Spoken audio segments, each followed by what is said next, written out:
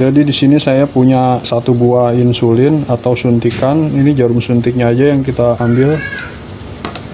Nah, kemudian di sini kita punya lem epotek. Nah, kalau kita sering pakai lem epotek seperti ini, ini sering sekali di ujungnya ini kering atau e, isinya jadi kering karena ini tidak kedap udara. Ketika kita tutup seperti ini, uh, dalam beberapa hari atau beberapa minggu ini pasti akan kering.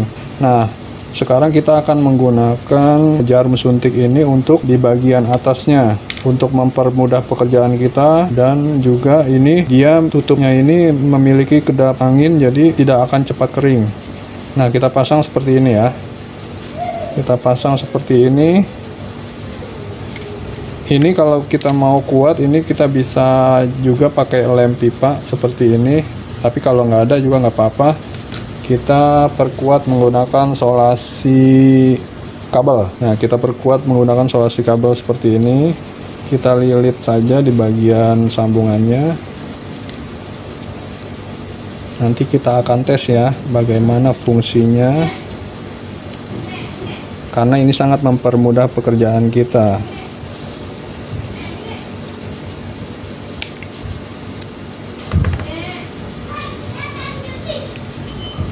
Nah, kalau sudah jadi seperti ini, ini uh, kita tutup saja ini dia akan awet. Dia akan awet, uh, tidak akan kering. Ini saya bisa sampai berminggu-minggu atau satu bulan pun ini uh, nggak akan kering. Jadi di sini kalaupun nanti ujungnya ini kering, tinggal potong saja pakai tang jepit seperti ini, ujungnya tinggal dibuang. Nah, tinggal dibuang saja kemudian ini sudah bisa normal kembali. Daripada menggunakan e, tutup plastik yang bawaan dia nih dia akan mudah mampet. Jadi kalau pakai jarum suntik ini dia tidak mudah mampet. Nah cara kerjanya bisa seperti ini. Nah ini sangat mudah sangat memudahkan untuk pekerjaan kita Nah, saya akan contohkan untuk kreasi-kreasi yang pernah saya buat menggunakan epotek ini.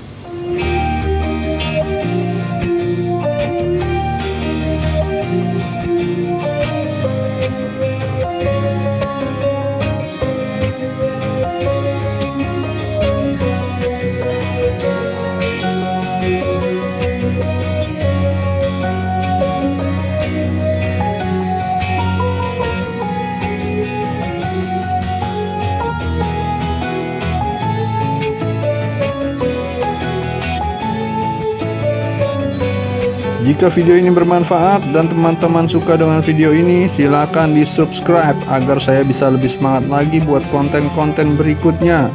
Jangan lupa dinyalakan loncengnya agar teman-teman bisa dapat notifikasi ketika saya mengupload video baru.